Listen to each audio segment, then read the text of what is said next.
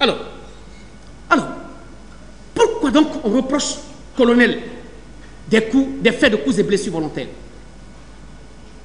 En dépit des actions qu'il a menées, en dépit de ces actes qu'il a posés? Docteur Fatou, ce qui est passé, Monsieur le Président, ici, c'est une dame que je respecte. Elle est respectueuse, elle est respectable. Mais nulle part dans sa conscience n'a présenté ici un élément constituant des reproches quelconques à l'encontre du colonel. Parce que c'est elle qui était directrice nationale dans ton cas. Quand même, il recevait, elle recevait tout le monde. Pour vous dire que cette infraction n'est pas constituée, Monsieur le Président, de manière classique, chaque infraction, pour sa constitution, il faut l'emploi, faut la constitution des, des éléments. Il faut que ces éléments soient réunis. Au sens de l'article 239, Monsieur le Président, vous avez trois éléments. Le premier élément, c'est le test lui-même, l'élément légal. On ne discute pas là-dessus. Le second élément, c'est l'élément matériel. Mais cet élément matériel renferme des petites conditions sans lesquelles l'on ne saurait indexer quelqu'un pour coups et blessures volontaires.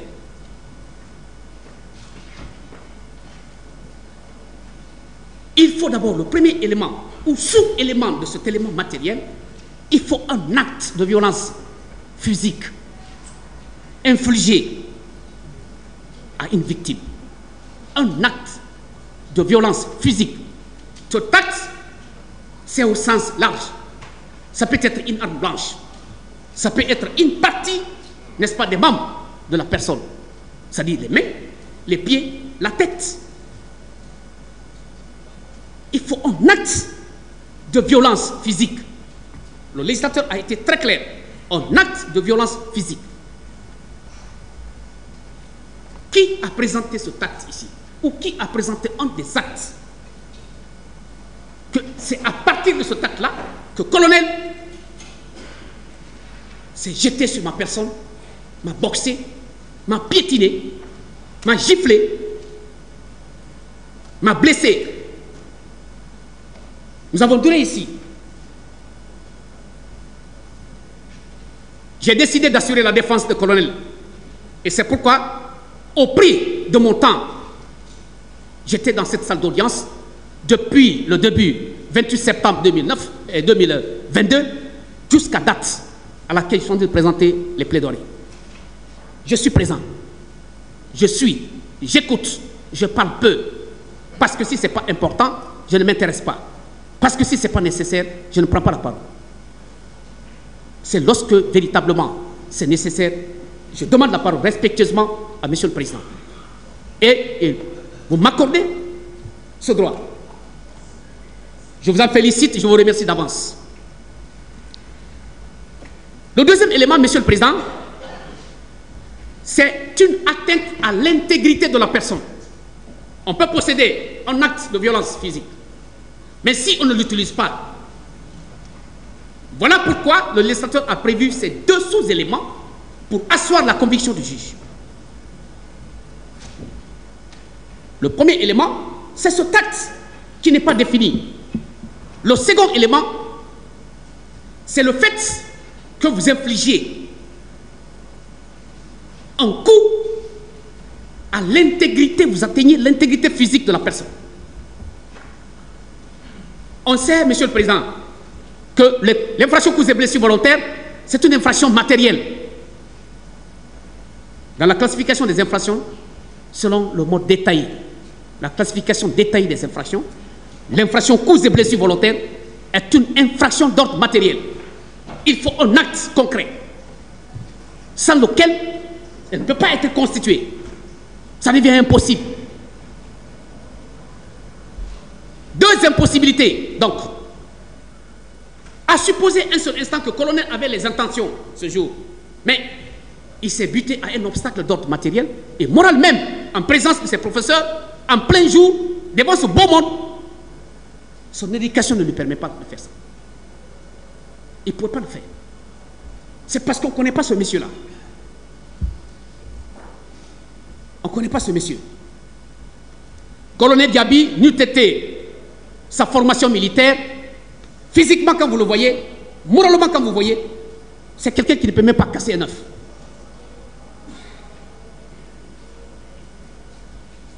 C'est un homme respectueux, respectable. Il n'est pas tombé du ciel pour arriver jusque-là. Il a fait un parcours.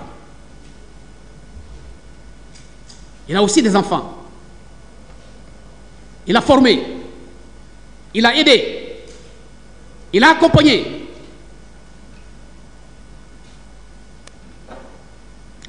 Lorsque je vais vous présenter, Monsieur le Président, le parcours de cet homme, vous allez vous rendre compte qu'on est simplement tenté de vous jeter la poudre aux yeux.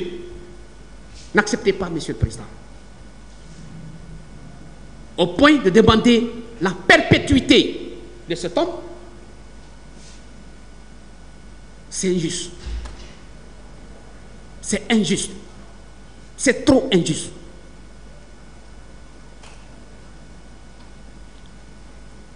Le deuxième élément, ou le troisième, je veux dire, après l'élément matériel avec ses sous-éléments, mais c'est l'intention.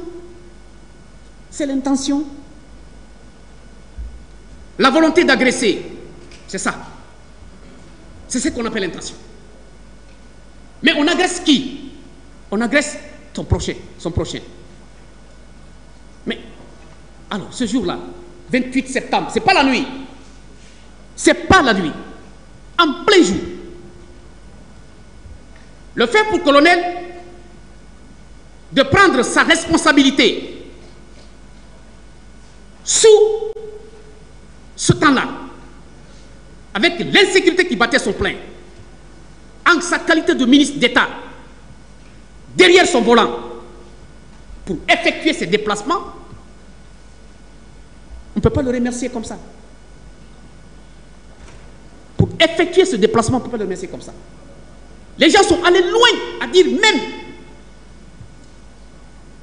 qu'il est venu avec un groupe d'armées. Mais, Monsieur le Président, l'ordonnance, puisque c'est l'ordonnance qui vous saisit, et c'est sur la base de cette ordonnance que vous allez trancher. L'ordonnance a été claire, le pool des juges. Voilà ce que le pool des juges dit.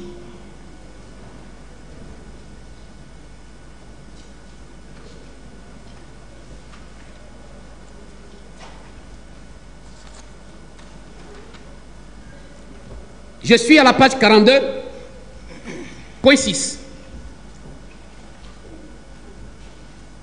Ablaï Sherif Diaby, d'avoir, dans les mêmes circonstances de lieu et de temps, volontairement porté des coups et fait des blessures, ayant entraîné des incapacités, de vives impressions, des privations de l'usage des membres et autres infirmités sur les personnes des manifestants.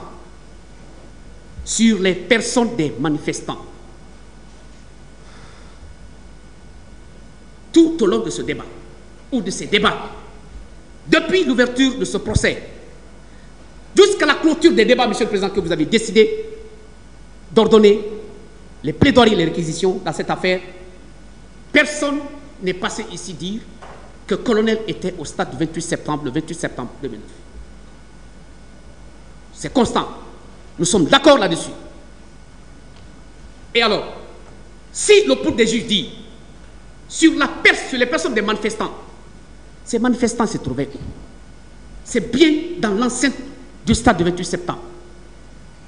Et puisque c'est dans le stade du 28 septembre, ce jour 28 septembre 2009, le colonel était en partance à Koya. Comment, Monsieur le Président, on peut être à la fenêtre? Et se voir passer dans la rue. C'est pratiquement impossible. Le colonel n'était pas au stade. Il n'était pas au stade, il n'était pas aux alentours du stade. Ce qui fait que votre composition, Monsieur le Président, lorsque vous serez dans votre secret,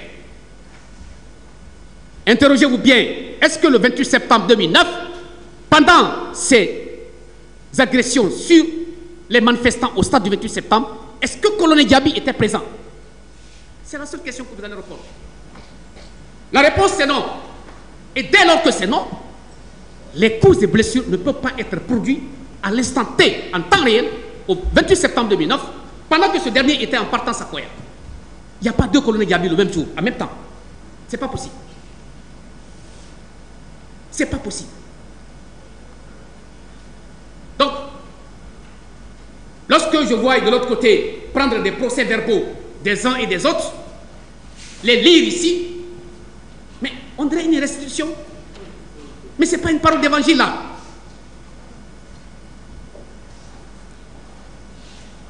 Vous aurez dû vous interroger au moins. Est-ce que ce jour J, ce lundi 28 septembre, colonel était au stade avant de prendre un procès verbal d'une partie civile pour le lire ici publiquement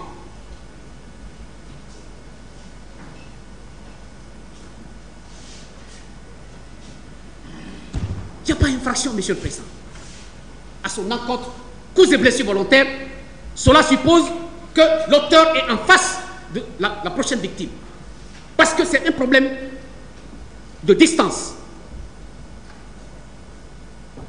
Le pénal, c'est aussi ça. Le législateur ne va pas vous dire tout. Il vous donne. Mais c'est à vous de regarder à l'intérieur, de sortir et de mettre à la disposition des professionnels et du public pour décider. Vous ne pouvez pas être à la maison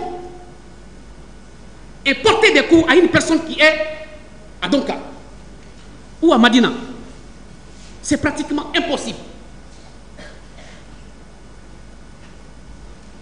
L'ensemble de ces procès-verbaux, mais qui les a étudiés? Mais c'est bien le pouls des juges. Mais est-ce que dans cette ordonnance, il a été fait état dans des procès-verbaux de quelqu'un d'une des parties civiles quelconque, qui véritablement, avec précision à l'appui, que telle personne à telle heure, à tel endroit du stade 28 septembre, colonel Yabi a porté des coups sur X, sur Y, sur Z.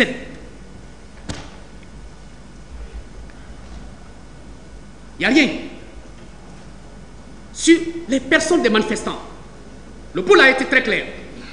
Le pôle n'a pas dit sur des personnes des blessés à Donka.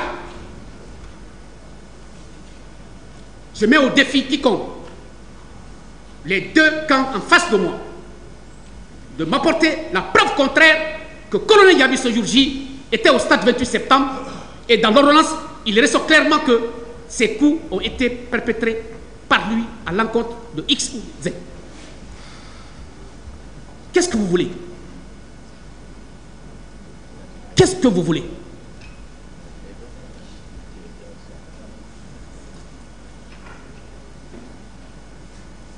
Bien.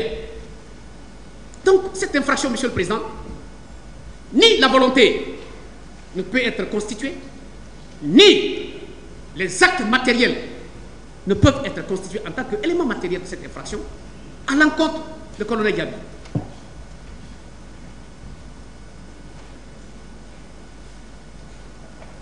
Et nul ne peut être condamné pour des motifs dont il n'est pas auteur. C'est un principe sacro en droit pénal. Nous sommes tous liés par ces tests. Personne ne peut être condamné si vous n'avez pas commis un acte et que ça soit prouvé à travers des actes matériels concrets. On ne peut pas être condamné si vous n'êtes pas coupable. Colonel, Monsieur le Président, pour cette infraction est loin d'être responsable. Ils ont dit, certains ont défilé ici, non. Il nous a insulté, il, a insulté, il a injurié. Parcourez l'ordonnance de renvoi, Monsieur le Président. Parce que moi, je tiens à ça. C'est le credo de la défense. pas inventer. Consultez cette ordonnance s'il est poursuivi pour des cas d'injure publique. Il n'y en a pas. Il n'y en a pas.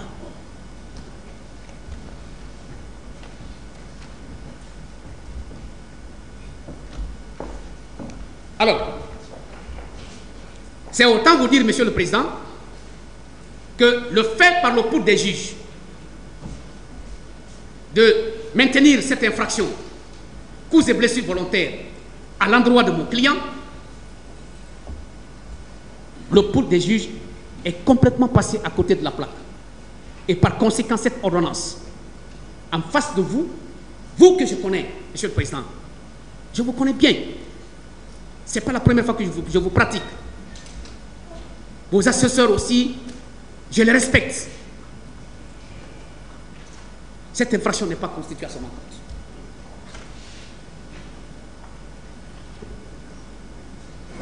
Outre le premier moyen de défense en ce qui concerne la prescription de cette infraction, en tant que tel, pour sa constitution, il faudrait la constitution de ces trois éléments. Si un des éléments fait défaut, il n'y a pas infraction. C'est des éléments cumulatifs. Ce n'est pas séparé. S'il n'y avait pas cette infraction qui était prévue par le test de loi, on n'allait pas parler de cela. Ça, c'est l'élément légal. Il existe l'élément légal qui est l'article 239. Mais si l'auteur n'a pas posé d'acte concret pouvant toucher l'intégrité physique d'une victime, l'élément légal, l'élément matériel aussi saute. S'il n'y a pas l'élément moral, qu'est-ce que vous voulez qu'on fasse? Vous voulez coûte que coûte envoyer ce monsieur pour ses derniers jours en prison. Il en a déjà subi trop. Une journée en prison de manière injuste, c'est trop. Même une heure.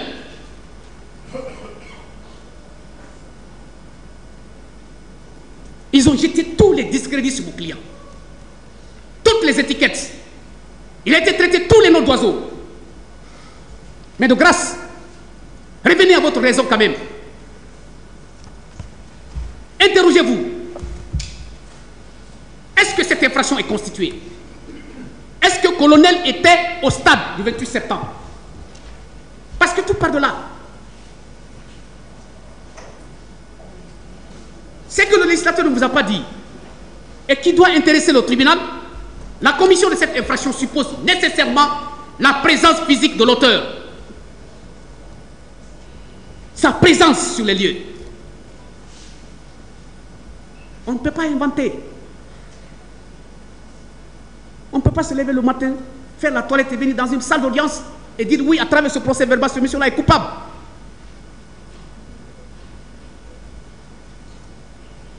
C'est pas bien.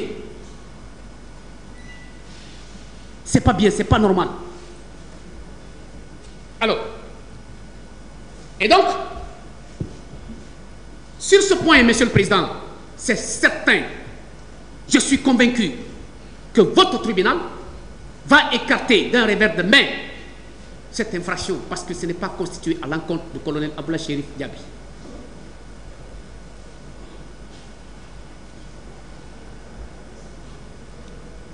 Alors, outre cause des blessures volontaires, qui déjà, le primitif étant fidèle depuis le début jusqu'à maintenant, je suis convaincu qu'elle n'est pas constituée.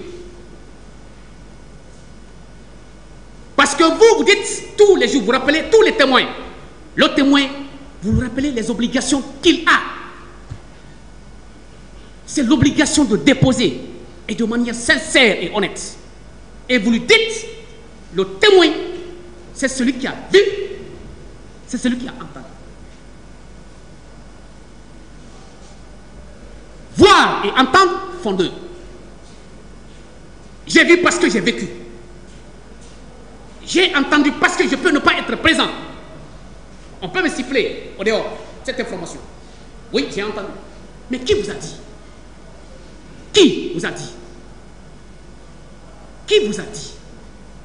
Que colonel shérif a porté des coups sur les blessés qui étaient par terre à Donka Qui a dit Amener cette personne, présenter là, l'intéressé confirme.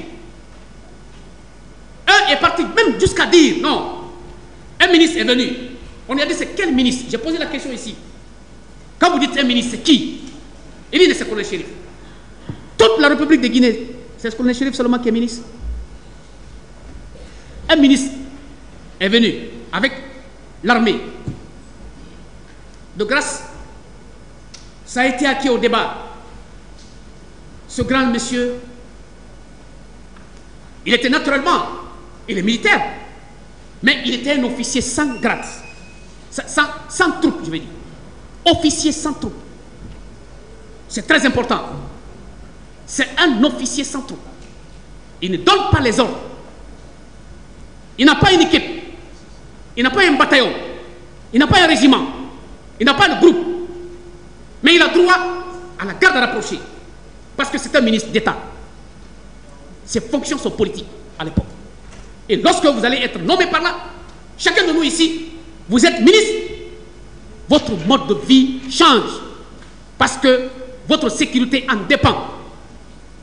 Vous avez droit à être gardé. C'est un officier sans trop. La conséquence, tout le monde sait. Il ne donne pas d'ordre. Pour dire non, votre subordonné est allé perpétrer des massacres et on vous prend comme responsable. Non. comprenez par là, Monsieur le Président, respectueux assesseurs, que les réquisitions présentées à travers les, les démonstrations jurisprudentielles ne concernent pas colonel. Ne concernent pas colonel. On n'a qu'à faire ça des archives pour dispenser ces cours-là de l'autre côté, dans les amphithéâtres. Mais ça ne concerne pas colonel. Et donc, vous proposez la perpétuité de cet homme, c'est un excès. C'est un excès. La défense ne peut pas accepter cela. C'est un excès.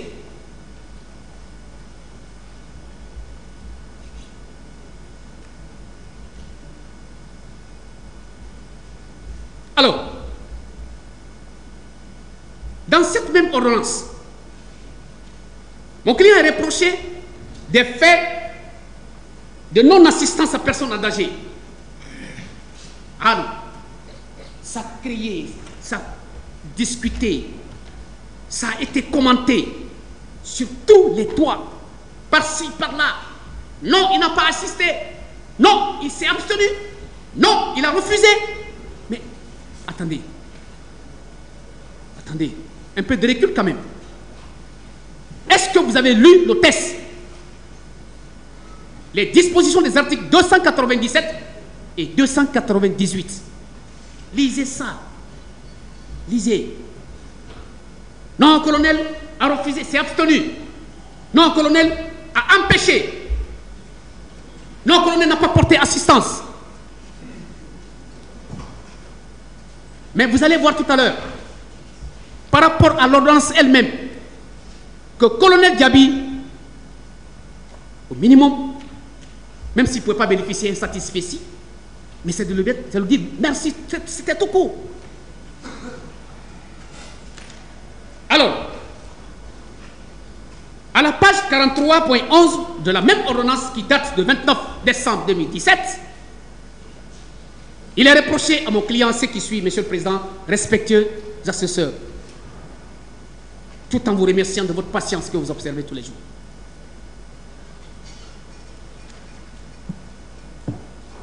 Il a dit ceci. Abdoulaye Sherif Diaby, d'avoir à Conakry, c'est le pour qui dit, hein, d'avoir à Conakry le 28 septembre 2009, en tout cas, depuis temps, non couvert par la prescription, deux points. Volontairement entraver l'arrivée de secours, l'arrivée de secours destinés à faire échapper les manifestants aux crimes et délits commis au stade. Je reprends. D'avoir volontairement entravé l'arrivée de secours destinés à être à faire échapper les manifestants aux crimes et délits commis au stade. Nous allons être d'accord que lorsque le pool des juges dit ceci, que cela suppose que colonel était posté au stade. Il était posté là. C'est ce que ça veut dire. Volontairement entraver l'arrivée. Mais à quel moment on entrave l'arrivée de quelqu'un?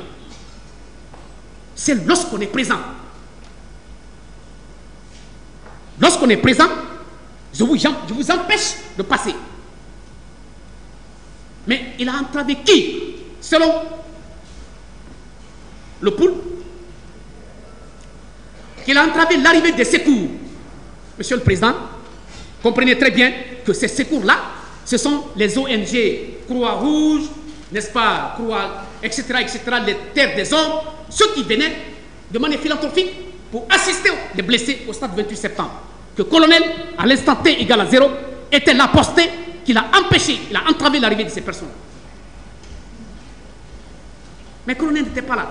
Et l'ordonnance précise, le 28 septembre 2009, pendant la commission de ces infractions-là, que le colonel, après que ça a été commis, commise, l'arrivée des secouristes, il les a empêchés. Bon Dieu, bon sang. On est où? Colonel n'était pas là. Docteur Shérif n'était pas présent au stade du 28 septembre. Soyons d'accord. Même si on n'aime pas quelqu'un physiquement, mais reconnaît-lui au minimum ses petits droits. Oui, parce que personne ne peut être aimé à 100%, même un fou. Mais comment se fait-il que colonel soit dans ses mouvements pour Koya et qu'au même moment, il a été appelé par général, à l'époque, le chef d'état-major général des armées, colonel Omar Sano, pour lui dire Revenez, monsieur le ministre, ça ne va pas au stade. C'est comme si, en ce moment précis encore, colonel se trouvait encore au stade, le 28 septembre. Mais ce n'est pas possible. Ce n'est pas possible. Et l'ordonnance est très claire. D'entraver l'arrivée de secours destinés à faire échapper les manifestants aux crimes et délits commis au stade du 28 septembre. Il n'était pas là. Il n'était pas là. Il n'était pas là. Il n'était pas là. Colonel qui a tourné sa voiture pour répondre à l'appel d'urgence, qui allait déposer, qui a, qui a écouté son déplacement pour aller s'intéresser, pour aller vivre l'événement, pour aller assister, pour prendre les dispositions en sa qualité de ministre d'État de la Santé. Comment ce dernier peut être qualifié d'auteur de cette infraction au même moment qu'il est en train de se déplacer, de faire des va-et-vient entre la présidence de la République, le QG, le ministère de la Santé, donc et on dit qu'il était au stade en train d'empêcher l'arrivée des secours. C'est injuste. C'est une violation à ses propres droits. C'est injuste. C'est une accusation à tort et à travers. Comment vous voulez une personne, en sa qualité de ministre d'État de la Santé, met les moyens, mais pour tous les actes de nature à assister des personnes qui, souffrent. Et on traite ce dernier qu'il est l'auteur de cette infraction. C'est pas bien. Deuxième paragraphe. De s'être dans les mêmes circonstances de lieu et de temps, volontairement abstenus d'empêcher par leur action immédiate, sans risque pour eux ou pour les tiers, la commission des crimes sur les manifestants au stade du 28 septembre et environ. Je reprends. Volontairement abstenus d'empêcher par, par son action immédiate, sans risque pour lui ou pour les tiers, la commission des crimes sur les manifestants au stade du 28 septembre. Vous savez, quand vous écrivez, réfléchissez ce que vous écrivez. Lisez relisez encore. Est-ce que le contexte là est, normal? Est-ce que chaque mot a sa place? Est-ce que la personne que vous décrivez, est-ce que l'intéressé à l'instant T mérite d'être là? C'est ce qu'il faut savoir. Mais lorsqu'on dit que colonel, de manière volontaire, s'est abstenu d'empêcher par son action, sans risque pour lui et pour les tiers, de commettre. Il a empêché de commettre des crimes au stade du 28 septembre. C'est extraordinaire. C'est extraordinaire. Mais de quelle abstention s'agit-il C'est pas ça. Qu'il n'était pas présent. Colonel Shérif, il faut le répéter parce que je ne cesserai de le dire. Il n'a jamais été au stade du 28 septembre, que cela soit très clair. Pour les uns, pour les autres, et même pour les tiers au dehors. Que ça soit très clair, il n'a pas été au stade du 28 septembre, il n'a pas été au stade du 28 septembre, ni dans les environs. Au point qu'on lui reproche de cette infraction, qu'il s'est abstenu volontairement. Mais on s'abstient de quelque chose de manière volontaire lorsqu'on est présent à cette chose, lorsque la personne est présente à cette chose. Comment quelqu'un peut être couché à la maison ce jour, le 28 septembre, un citoyen qui était à Bambeto, un citoyen qui était à Lambaye, qui était couché dans son salon, qu'on puisse lui lui reprocher d'être au stade du 28 septembre ce jour-là. Non, il rien, c'est possible. Colonel n'a jamais été au stade. Même le parcours que j'ai décrit ici, dans sa narration des faits. La route de Koya, directement au QG à la présidence. De là-bas, c'est Donka. De Donka, ministère. Du département, il est revenu à la présidence. À la présidence, c'est le surlendemain, le 30 septembre 2009, qu'il est venu en compagnie monsieur le chef de l'État, ghanéen, président d'Addis, plus le chef de l'État de Burkina Faso à l'époque, Blaise Compaoré. Mais tout le monde a vu ça à la télé. Lorsque M. le Président d'Addis passait saluer les malades. Mais on va fabriquer quoi? On va fabriquer quoi contre lui? Troisièmement, c'est le même pool, la même ordonnance qui précise encore volontairement abstenu de porter assistance aux personnes en péril ou de provoquer un secours aux personnes en péril ou de provoquer un secours. Cela revient de provoquer un secours. Monsieur le Président,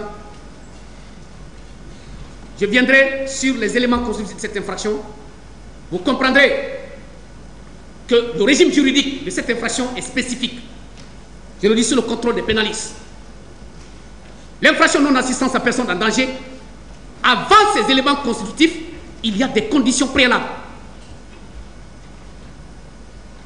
Ces conditions sont de deux ordres. Les conditions liées à l'auteur et celles liées à la victime.